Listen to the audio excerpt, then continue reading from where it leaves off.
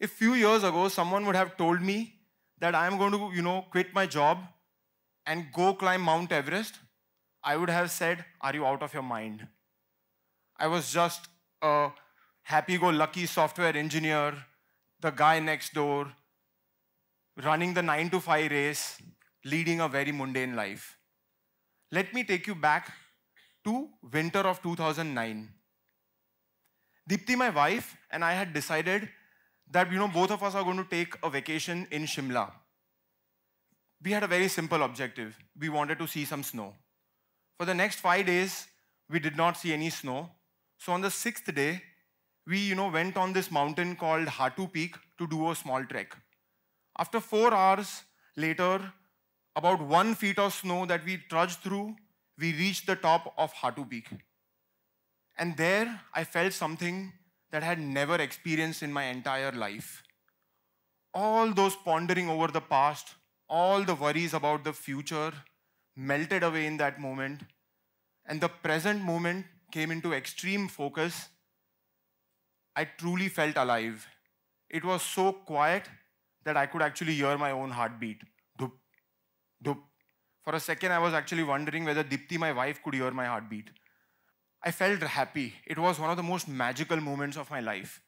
I told myself that for rest of my life, I'm going to chase this state of mind as much as possible. And then I came back home.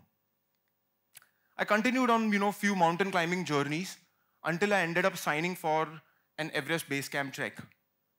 I landed in Kathmandu, and about 10 days worth of walking, we got to this point called the Pumori base camp. In the evening, our team had gathered for a team meeting in the dining tent, an absolute luxury at 18,000 feet, I must say. And as we were sitting and chit chatting, someone started shouting my name. In the mountains, it's almost always never good. So I quickly ran out, and there was this Sherpa guide standing, and he, you know, pointed towards Everest. And I turned around and I saw Everest, and I was literally stunned. The last light of sunset was falling on Everest. Every mountain was in the color of blue and gray. Everest was burning golden in color. It's as if someone had lit the snow on fire. When I saw Everest in this way, I knew that I had found my dream.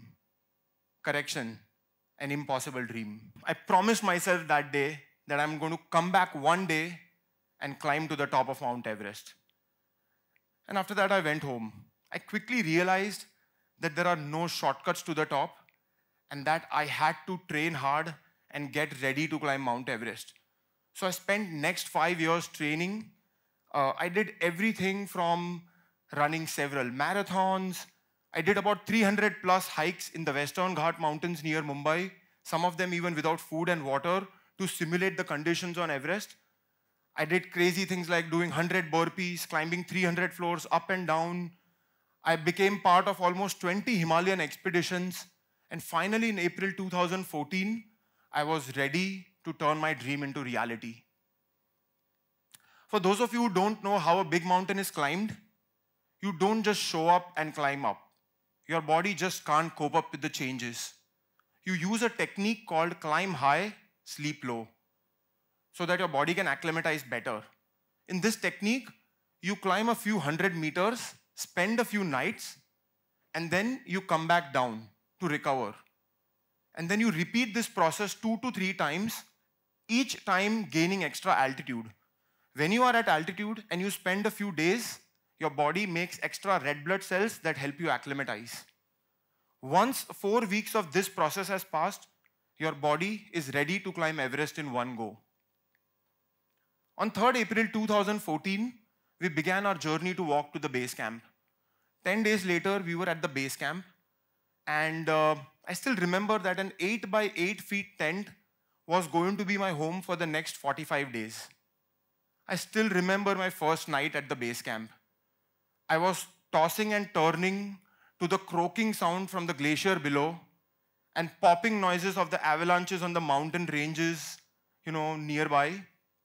And uh, it, it, was a magical experience, an ex- experience all its own. And then April 18th, 7 in the morning, we heard this news that the single largest accident in the climbing history of Everest had happened. 17 Sherpa guides were killed in a section called Khumbu Icefall, uh, and the mountain was deemed unsafe. All the expeditions on the Nepali side of the mountain were cancelled, and we all had to turn around and go home. I told myself I can wait one inconsequential year and come back and climb Everest in 2015. I stayed focused, trained hard, and came back to climb Everest in 2015. I distinctly remember April 25th, 11:55 in the morning. We had just come back down from a tough down climb, you know, through Camp 1 in a raging snowstorm. But the weather at base camp was great. We were all in the dining tent, eating food, chit-chatting, exchanging stories. Life was good. And then something happened. The poles of my tent started shaking and the ground started shaking a little bit. Now I told my friends, you know, I can feel this shake. And one of them said, You have altitude sickness. And that can actually be true. Sometimes you think something is happening, but it's all in your head. And then the pole started shaking harder. The entire tent started shaking harder. The ground was shaking vigorously. We knew we were in middle of a big earthquake. We quickly ran out and imagine that you are standing on a giant swing that is swaying from one end to the next. We were in middle of a 7.9 magnitude earthquake, the biggest to hit Nepal in a century. And for those of you who don't know, an earthquake can actually go on easily for 80 to 90 seconds, the shaking itself. Our shaking went on for about 80 seconds and then it stopped. For a moment, we were relieved until we heard this loud boom, almost like a bomb blast that had happened. Now, the direction of the sound was coming from towards Everest. So, all of us were, you know, looking towards Everest. Now, this was a day when there was a low cloud that had set in at the base camp so we really couldn't see what was going on, what was coming our way. But it didn't take us long to figure out that something was wrong. There were a whole bunch of climbers in front of me who was running towards Everest. And I'm standing here and thinking, if the danger is Everest, why would someone run towards the danger? It just doesn't make sense. That's when I realized that the danger was actually behind me. I turned around and I was faced with this giant cloud of snow and ice. From left of the sky to the right of the sky, the entire sky was filled with this gigantic avalanche. And in that moment, I didn't think that I was going to die.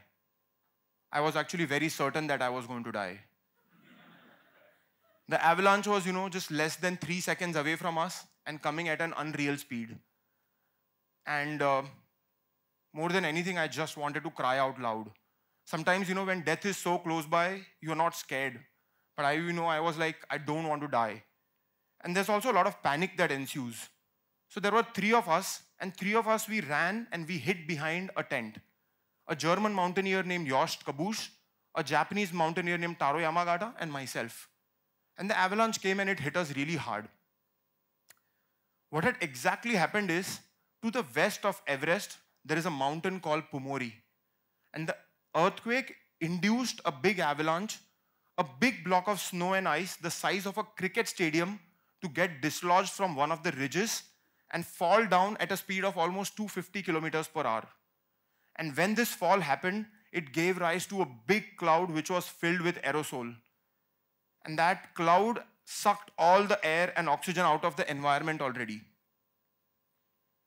And so when three of us, you know, hid behind the tent and we got hit by the avalanche, for the first 10 seconds, I could see, you know, there's only two inches of snow on my body. Now, I was hoping for maybe one, two feet of snow on my body. And here I'm like, okay, I think I'm going to make it alive out of this thing.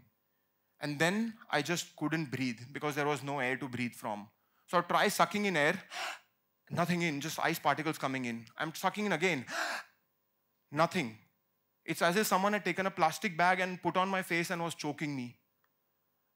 Jost, who was next to me, saw my entire ordeal he opened his jacket and said, You can come inside my jacket and breathe.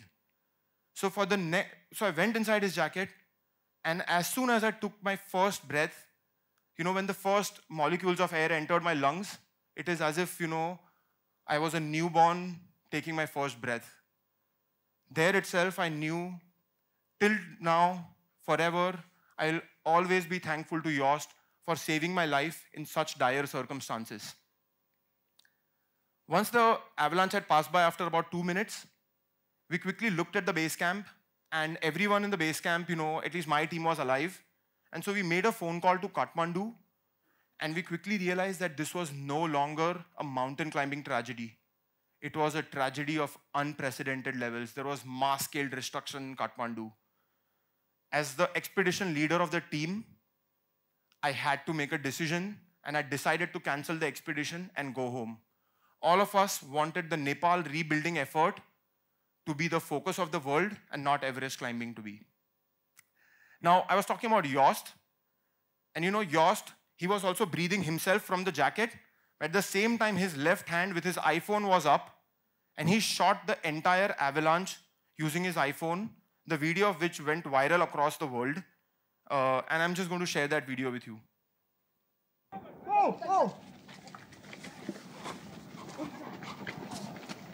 No!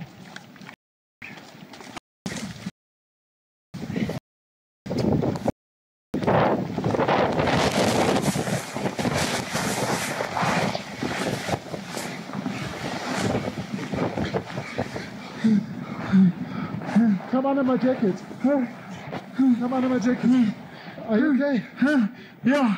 All right? Yeah. Yeah. Yeah. So when I, after all this, when I came back home, my family and friends dissuaded me from going back to climb Everest in 2016. I remember my wife telling me, 35 people have died climbing Everest. You should not go back. A friend told me, you know what, Everest does not want you there. And um, this one person came and told me, Kuntal, it's impossible. You don't have what it takes to climb this mountain.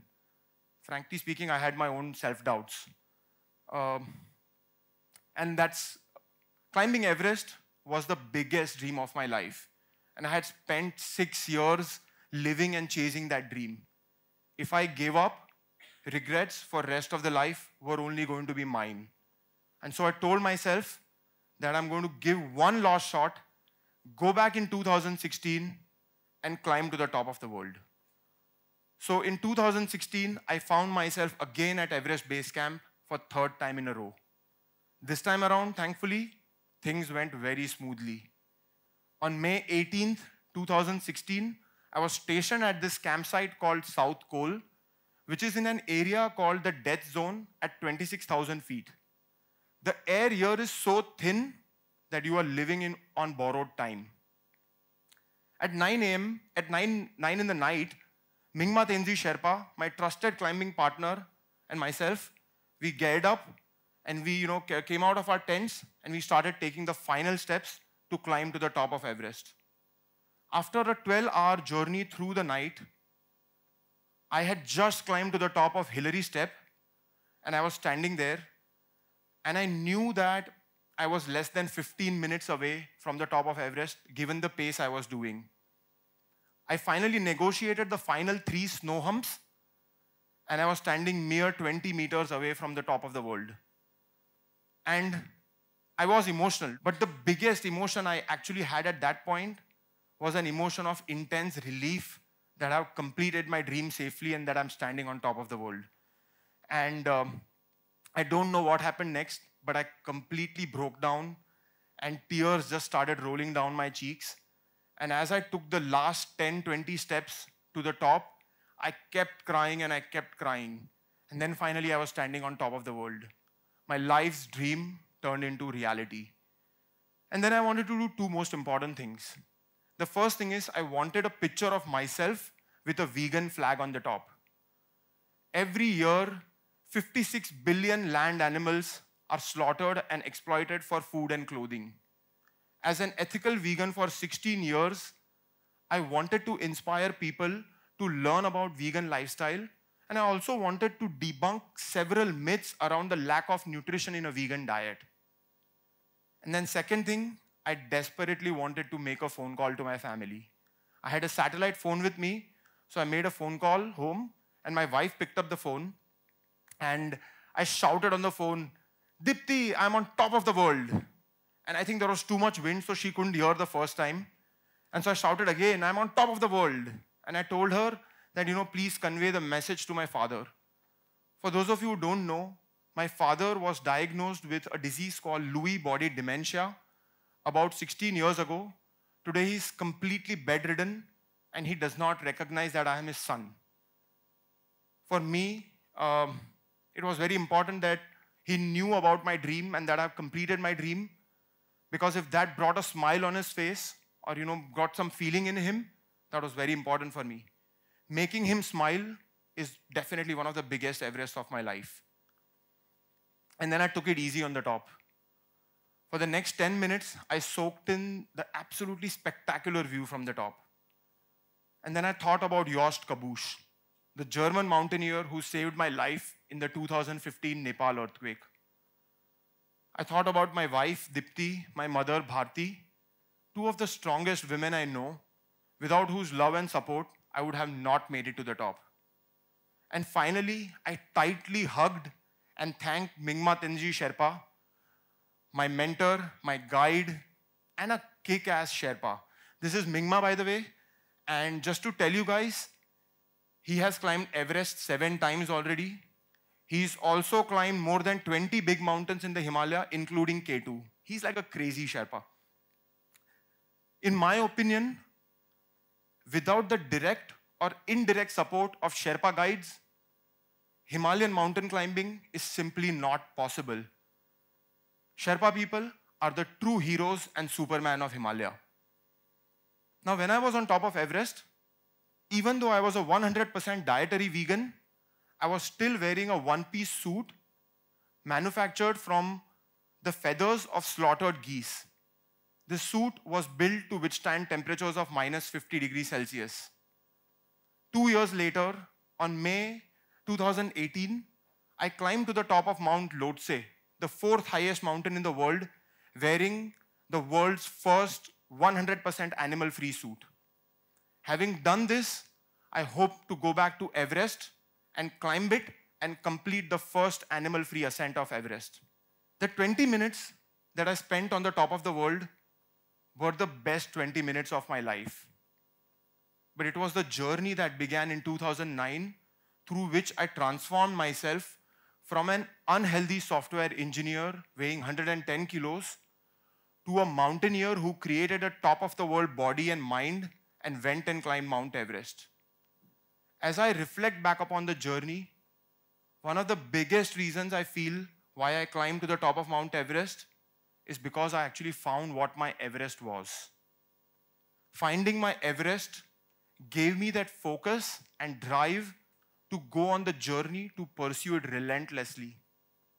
At this point, I want to urge each one of you to take some time out of your life, to take a step back and find what your Everest is and go on the journey to conquer it. When I went on my journey, I was able to conquer my limitations, I was able to conquer my self doubts. At the end, I became a better version of myself and I became a better human being. And to me, that is what the true meaning of life is. Thank you so much.